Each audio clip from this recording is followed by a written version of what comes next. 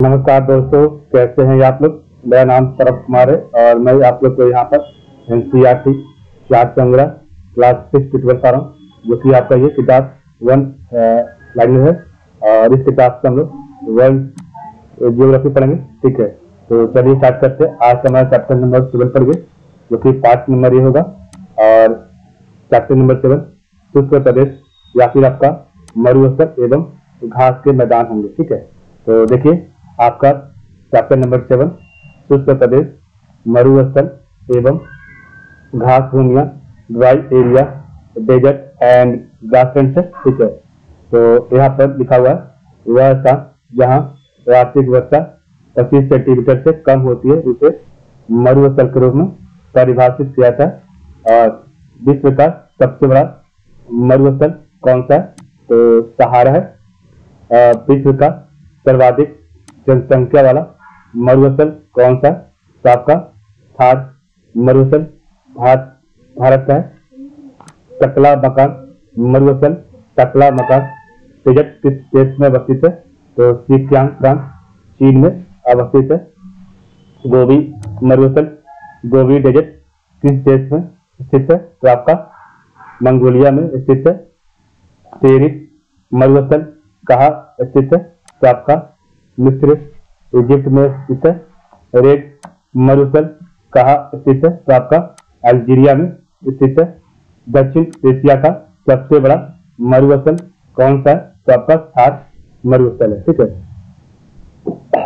पृथ्वी का सबसे अधिक शुष्क क्षेत्र कौन सा? तो आप कामा है, सोनोरल मरुस्थल, कहाँ अवस्थित है?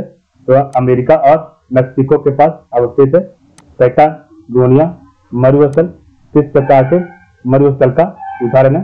तो शीतोषण कटिबंधीय मरुस्थल टेम्परेट डेजर्ट का प्रकार है। नागफनी किस बायोम की प्रमुख वनस्पति है। तो मरुस्थलीय बायोम की घास घास भूमिया उन स्थानों पर पाई जाते जहाँ इतनी अधिक वर्षा नहीं होती है कि वनों का विकास हो सके और नहीं इतनी कम वर्षा होती है कि भूमि मरुस्थल में परिवर्तित हो जाए। नेक्स्ट आपका। शीतोषण घास के मैदान को यूरेशिया में किस नाम से जानते हैं? तो स्टेपिक के नाम से जानते शवाना का सर्वाधिक विस्तार है। अफ्रीका में दक्षिण अमेरिका का वृक्ष रहित घास का मैदान को क्या कहा जाता है? तो आपको पंपास कहा जाता है। शवाना बायोम की जलवायु अर्धसूचक उष्ण कटिबंधीय है। ठीक है। आप विश्व के प्रमुख मरुस्थल व उनकी अवस्थिति तो ये आपका नाम है और आपका अवस्थिति है। ठीक है। तो सहारा सहारा, जो कि आपका लीबिया तथा न्यूबियन मरुस्थल बोलते थे और ये आपका उत्तरी अफ्रीका में Simpson Gibson Sturt Stony, Great Victoria और ग्रेट सैंडी ये आपका जो मरुस्थल है, ये आपका ऑस्ट्रेलिया में है नाफूद हमद, रब अल खाली, ये आपका सऊदी अरब है काला हारी ये आपका बोस्वाना अफ्रीका में सोनोरेन तो सोनोरेन आपका, अमेरिका और मैक्सिको में नामीब आपका, नामीबिया में है काराकुम, ये आपका तुर्कमेनिस्तान में थार, मारू थार, मरुभूमि, ये आपका, उत्तर, पश्चिम, भारत, व पूर्व, ये पाकिस्तान में उत्तर, पश्चिम, भारत व पूर्वी पाकिस्तान में सोमाली, मरुभूमि, ये आपका, सोमालिया में ठीक है। और आपका है कामा। तो तो अटाकामा आपका। चिली में है। ठीक है। काजिल कुम। तो काजिल कुम आपका। उज्बेकिस्तान में है। दस दस से लुट। मरुसल आपका। पूर्वी ईरान में है। दस से कबीर आपका। दक्षिणी ईरान में है। मोजेट या मुहाबे। सियरा निवादा आपका। संयुक्त राज्य, अमेरिका में है। सेंचुरा, आपका पेरू में है। और पेटागोनिया, मरुस्थल, आपका अर्जेंटीना में है। ठीक है।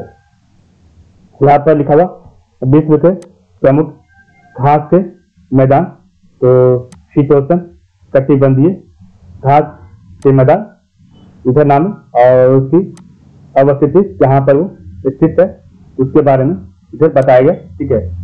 तो एस्टेटिक घास के मैदान, ये आपका मध्य एशिया एवं पूर्वी यूरोप में विल्ड घास के मैदान, ये आपका दक्षिण अफ्रीका में उस्ताद, घास के मैदान, ये आपका हंगरी में है। पंपास घास के मैदान, ये आपका ब्राज़ील, अर्जेंटीना एवं उरुग्वे में है। केंटरबेरी केंटरबरी आपका न्यूजीलैंड में है प्रियरी ये आपका घास का मैदान, उत्तरी अमेरिका में है, और डाउन घास का मैदान, ये आपका ऑस्ट्रेलिया में ठीक है। नेक्स्ट आखिरी लाइन है इस चैप्टर का तो मरुस्थल स्थलखंड के शुष्क व अर्ध शुष्क भाग होते हैं, जो मुख्यतः उपोषण एवं उच्च वायु वायुदाब क्षेत्रों में पाए जाते हैं, ठीक है? तो इस प्रकार हमारा चैप्टर नंबर सेवन हमने कंप्लीट किया। कल हमारा चैप्टर नंबर एट होगा, जो कि आपका है घाट, घाटिया एवं पठार तो वैली एंड प्लेटू ठीक है? तो आज के लिए बस इसमें आप लोग का बहुत बहुत धन्यवाद।